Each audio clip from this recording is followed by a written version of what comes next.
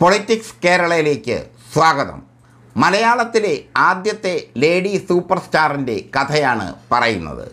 ആ സൂപ്പർ സ്റ്റാറിന്റെ യഥാർത്ഥ പേര് ത്രേസ്യാമ്മ തോമസ്. സിനിമയിൽ അറിയപ്പെട്ടത് മിസ് കുമാരി എന്ന പേരിൽ. ത്രേസ്യാമ്മ തോമസ് ജനിച്ചത് ഭരണങ്ങാനത്ത്.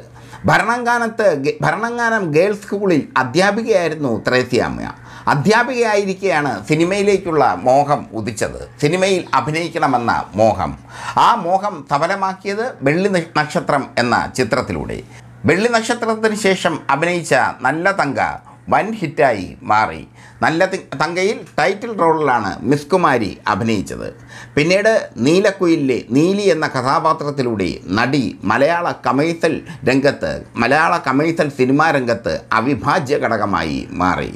രാമുക്കാരിയാട്ടും പി ഭാസ്കരനും ചേർന്ന് സംവിധാനം ചെയ്ത നീലക്കുയിൽ മികച്ച മലയാള ചിത്രത്തിനുള്ള വെള്ളി മെഡൽ നേടിയ ചിത്രമാണ്. നീലക്കുയിലൂടെ സത്യനും മിസ്കുമാരിയും ജോഡികളായി മാറി. കമേഴ്സൽ സിനിമയിൽ സത്യൻ മിസ്കുമാരി ജോഡികൾക്ക് ഡിമാൻഡ് ഉണ്ടായി എന്നാൽ പ്രേം നസീറിന്റെ വരവോടെ പ്രേം നസീറിന്റെ ജോഡിയായി മിസ്കുമാരി പരിവർത്തനം ചെയ്യപ്പെട്ടു. Balyakala Sakhi Avakashi Padatha Painkili C I D Jail Pulli എന്നിവയാണ് പ്രേം നസീറും മിസ്കുമാരിയും ഒരുമിച്ച് അഭിനയിച്ച ചിത്രങ്ങൾ. ഈ ചിത്രങ്ങളെല്ലാം പണം വാരി ചിത്രങ്ങളായിരുന്നു. പ്രേം പ്രേം നസീറിന്റെ അനുജൻ പ്രേം നവാസ് ആദ്യമായി സിനിമയിലെത്തിയപ്പോൾ കൂടപ്പിറപ്പിലൂടെ ആദ്യമായി സിനിമയിലെത്തിയപ്പോൾ അദ്ദേഹത്തിന്റെ നായികയും ഈ നടിയായിരുന്നു. പ്രേം പ്രേം നസീർ അഭിനയിച്ച തമിഴ് ചിത്രമായ വെട്രവേൽ കണ്ട പെരുവാഴ്വിൽ നായിക നസീറിന്റെ നായിക ഈ നടിയായിരുന്നു.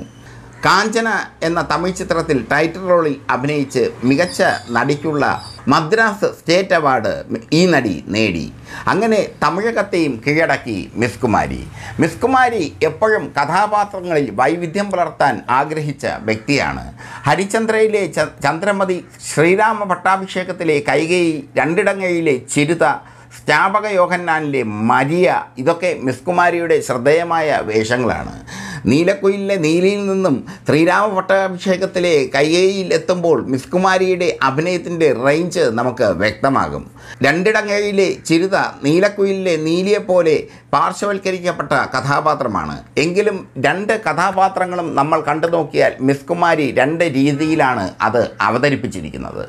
മലയാളത്തിൽ നാടകത്തിന്റെ ഹാങ് ഓവർ ഉണ്ടായിരുന്ന കാലമാണ് മിസ് കുമാരി രംഗത്ത് വന്നത്. ആ കാലം മലയാള സിനിമ പിച്ചവെച്ച് തുടങ്ങിയ കാലം കൂടിയായിരുന്നു. പക്ഷേ നാടകത്തിന്റെ ഹാങ് ഓവർ ഇല്ലാതെ നാടകത്തിലെ അമിതാഭിനയം ഇല്ലാതെ മിസ് കുമാരി അഭിനയിച്ചു. അതാണ് ഈ നടിയുടെ പ്രത്യേകത. വിവാഹശേഷം പൂർണമായി മിസ് കുമാരി അഭിനയത്തിൽ നിന്ന് മാറി നിന്നു. നല്ലൊരു വീട്ടമ്മയായി ജീവിച്ചു. ആലുവ എഫ് എ സി ടിയിലെ എഞ്ചിനീയറായ ഹോർമസ് തളിയത്താണ് മിസ് കുമാരിയുടെ ഭർത്താവ്. ഈ നടിയുടെ മരണം അപ്രതീക്ഷിതമായിരുന്നു. മുപ്പത്തേഴാമത്തെ വയസ്സിലാണ് നടി മരണപ്പെട്ടത്. ഛർദിയും നെഞ്ചുവേദനയുമായി ആശുപത്രിയിൽ പ്രവേശിച്ച നടി പിന്നീട് മരിച്ച വാർത്ത കേരളം അറിഞ്ഞു. നടി മരിച്ച വാർത്ത അറിഞ്ഞ് കേരളം ഞെട്ടി. ഭരണങ്ങാനത്ത് മിസ്കുമാരിയുടെ പേരിൽ ഒരു സ്റ്റേഡിയം ഇപ്പോഴുണ്ട് മിസ്കുമാരിയുടെ ഓർമ്മയ്ക്കായി. അവരുടെ ജന്മനാടായ ഭരണങ്ങാനത്തുകാർ ഇപ്പോഴും അവരെ ഒരുപാട് സ്നേഹിക്കുന്നു. ആ സ്റ്റേഡിയം ഉദ്ഘാടനം ചെയ്തത് നിത്യഹരിത നായകൻ പ്രേം നസീർ. അവരുമൊത്ത് ഒരുപാട് സിനിമയിൽ അഭിനയിച്ച പ്രേം നസീർ. മിസ്കുമാരി മരിച്ചിട്ട് വർഷങ്ങളാകുന്നു. ആയിരത്തി തൊള്ളായിരത്തി അറുപത്തൊമ്പത് ജൂൺ ഒമ്പതിനാണ് മിസ്കുമാരി മരിച്ചത്. എന്നാൽ ഇപ്പോഴും ഭരണങ്ങാനത്തുകാർ അവരെ ഓർക്കുന്നുണ്ട്.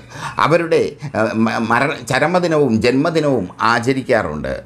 മൂന്ന് മക്കളാണ് മിസ് കുമാരിക്ക്. Johnny Thomas Babu.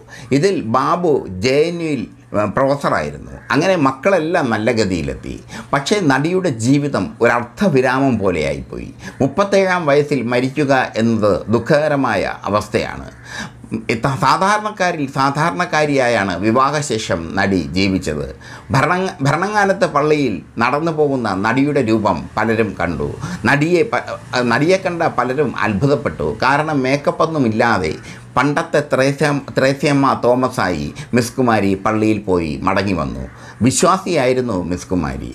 പക്ഷേ ആ വിശ്വാസത്തിനും ആ ദൈവത്തിനും മിസ് കുമാരിയെ ദീർഘകാലം ജീവിപ്പിക്കാനായില്ല. അപ്രതീക്ഷിതമായ മിസ് കുമാരിയുടെ വിയോഗം മലയാള സിനിമയെ നടുക്കിയിട്ട് കാലങ്ങളേറെയാകുന്നു. എങ്കിലും മലയാള സിനിമയുടെ ബ്ലാക്ക് ആൻഡ് വൈറ്റ് ചരിത്രത്തെ പരിശോധിക്കുമ്പോൾ മലയാള സിനിമയിലെ ആദ്യത്തെ ലേഡി സൂപ്പർ സ്റ്റാറായി മിസ് കുമാരി നിറഞ്ഞു നിൽക്കും.